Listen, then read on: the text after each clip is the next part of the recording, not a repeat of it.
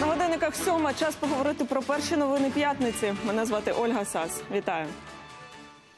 Один український захисник поранений минулої доби на Донбасі. Найгарячіше було на Луганському напрямку. Там окупанти застосовували міномети 82-го калібру. Крім того, ворог стріляв із гранатометів, великокаліберних кулеметів та стрілецької зброї неподалік Красногорівки, Старогнатівки, Чермалика, Павлополя та Широкиного. Загалом за попередню добу зафіксували сім ворожих атак. А на ділянці Горлівка Авдіївка російські найманці кинули в бій важку артилерію. Обстріли тривали цілий день. На одному з опорних пунктів нашої оборони побував Геннадій Вівденко.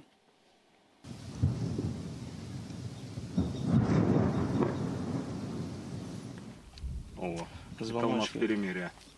Это тяжелая артиллерия работает. 152 десь, да? Это 152. Окупанти активно поливали стрілецьким вогнем ці позиції. Тепер із важкого озброєння б'ють по сусідніх. І тут добре гатять, і там добре гатять. Тобто тут е, і днем, і ночі, і вечором. Тобто немає якої-то конкретики, що от там готувати, скажімо, до вечора. Тобто вони коли хочуть, тоді розпочинають. На цій ділянці неодноразово фіксували спроби прориву диверсійних груп противника. Наші бійці встигають їх помітити та відсікти. Так сталося і днями.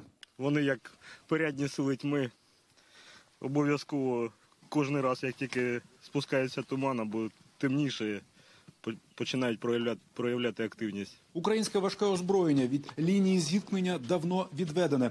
Від щоденних ворожих провокацій бійці відбиваються, чим дозволяють мінські угоди. Найдієвіше та найпереконливіше ось це. Це головна зброя українських піхотинців на передовій великокаліберний кулемет ДШК. З нього в основному і дається відсіч ворогу. Бійці настільки поважають цю зброю, що надали їй людське ніжне ім'я. Це наша Дар'я Івановна. Капризна дівчинка, не безотказна. Настрій появляється, коли її турбує дуже. В неї появляється настрій. І тоді вона весело себе веде. Кухар опорного пункту Андрій повернувся із бойового чергування в бліндажі, що за кілька метрів звідси. Обід готовий. Відзначає, що тут на самій передовій у нього зручне обладнання, і за новим наказом командування урізноманітнено раціон бійців. Ось термобокс. Спасаємося, з допомогою нього привозять нам льод. Що робити, спасаємося, щоб не розставало. Ну це ось е, почалось по нововведенням, як вели везде. І усе почали нам привозити. Геннадій Вівденко, Андрій Ярковий, Руслан Рев'юк. Новини телеканал Інтер із Донецької області. Півмільярда євро макрофінансової допомоги отримує Україна від Євросоюзу. Президент Петро Порошенко повідомив про це напередодні під час з'їзду Європейської народної партії в Гельсінкі. Глава держави зустрівся з очільником Єврокомісії Жан-Клодом Юнкером та головою Європейської ради Дональдом Туском. Основна тема переговорів протидія втручання Росії у справи інших країн.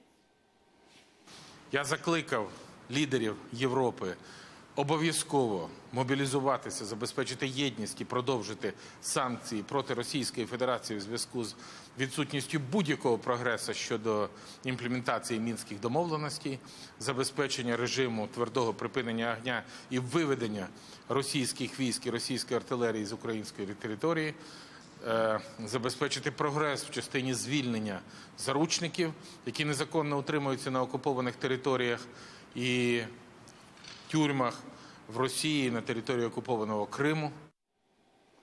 Верховна Рада напередодні ухвалила нові правила розмитнення автівок, як того вимагали власники єврономерів.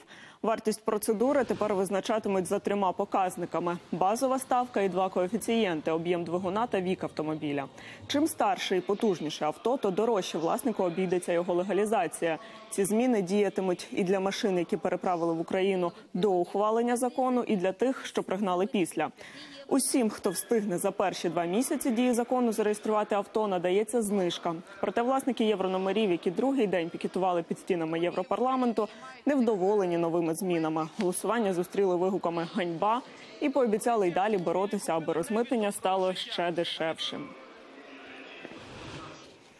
Трагічний випадок стався у пологовому будинку Рівного. Там жінка народила немовля, однак дитина від народження перебуває в комі. У своїй біді батьки звинувачують лікаря-акушера медзакладу і вимагають, щоб його покарали. Деталі цієї історії в наступному сюжеті. У Рівненській обласній дитячій лікарні медики борються за життя немовляти. Новонародженого хлопчика сюди до реанімації доправили просто з пологового будинку. Малюк у комі вже понад тиждень. Стан дитини вкрай важкий. У дитини діагноз ушкодження центральної нервової системи, мозкова кома четвертого ступеня. Під відділенням чергують мама з татом. Вони вже навіть охрестили дитину просто в реанімації. Назвали Яном. Це їхній довгоочікуваний первісток. Ми постійно ходили на УЗД, ми постійно записували для нашого малого е, сина е, відео на майбутнє, щоб потім, коли він виросте, показати йому змонтувати якийсь невеликий фільм. У тому, що дитина в комі, батьки звинувачують медиків. Анастасія розповідає, пологи були надто важкі, а лікарі відмовлялися робити анестезію чи кесарів ростин. Коли в мене починалися потуги, я казала, що в мене не виходить. Він каже, дівчинка, ти на дискотеку попала. Е, я казала, я не можу, він кричить до мене тушся. Б**». Жильчук Ігор Євгенович, е, ну лікар-акушер, я так розумію. Анастасія народжувала ось у цьому пологовому будинку у Рівному. Лікаря, який приймав пологи, зараз на роботі немає. Очільник медустанови свого колегу не виправдовує, проте каже, його поки що не усунули з посади. Запевняє, інцидент розслідуватиме комісія. Створюється комісія з залученням експертів з обласного управління охорони здоров'я. Всі історії даються на рецензію. Історія дитяча, історія доросла. Будуть запрошені рецензенти, члени комісії і роблять висновок. Батьки хлопчика вимагають покарання для Ігоря Жильчука. Звернулися до поліції.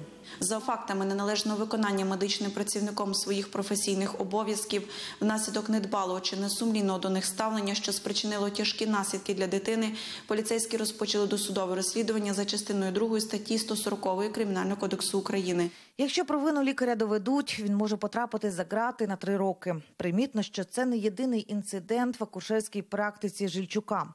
Після розголосу цієї історії жінки, які раніше в нього народжували, наважилися розповісти свої історії ускладнених пологів. Сніжана Сидорук, Микола Василюк. Новини телеканал Інтер Рівне.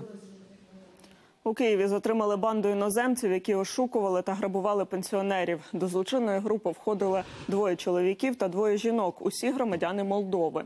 Жінки приходили до літніх, до літніх людей додому, називалися соцпрацівниками та міняли заощадження стареньких на сувенірні гроші. Мовляв, грошова реформа.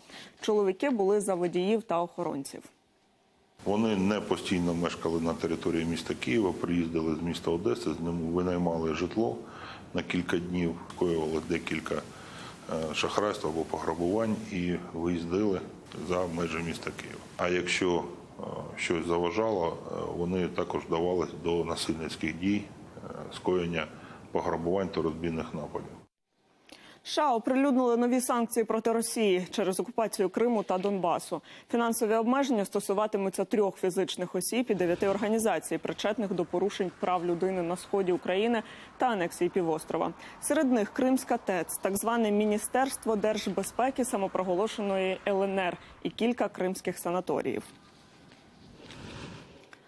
У Стамбулі в консульстві Саудівської Аравії знайшли залишки кислоти. Про це повідомила Аль-Джазіра, посилаючись на дані турецької прокуратури.